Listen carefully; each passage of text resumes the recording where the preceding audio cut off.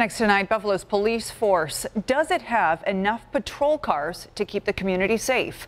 With concerns coming from officers, the department is now trying to find new ways to acquire cars at a low cost. Here's 7 Eyewitness News reporter Ed Riley.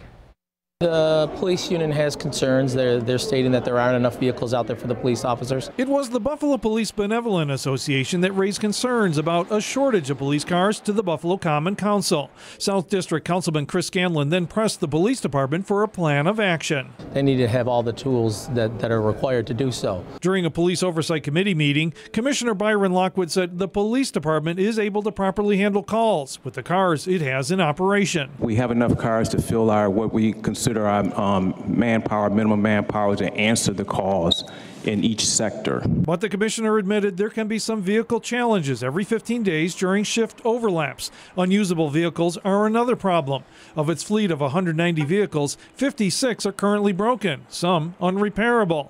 Council members asked why the department did not buy 14 new cars that were approved last year. We're doing everything we can, including uh, looking at outside the box ideas. Police vehicles cost roughly $50,000 each, and Captain Jeff Rinaldo said the department is now looking at leasing because it would stretch money and allow the department to get 26 vehicles instead of 14. We talked with other agencies locally that are doing it to make sure that, again, we were on the cutting edge, not the bleeding edge of a new financing uh, program. As to keeping the vehicles running, the department admitted there are challenges because of having different makes and models, and the council wondered why three police auto mechanic positions have not yet been filled. Those vacancies do create um, uh, challenges for us to fill, but we are on top of it, and as soon as we have a position for which we can hire, we begin that process. Now, if approved by the council, those leased police vehicles should be on the job towards the end of the year. And some other interesting information came out this morning. Crime in Buffalo was down 14% last year,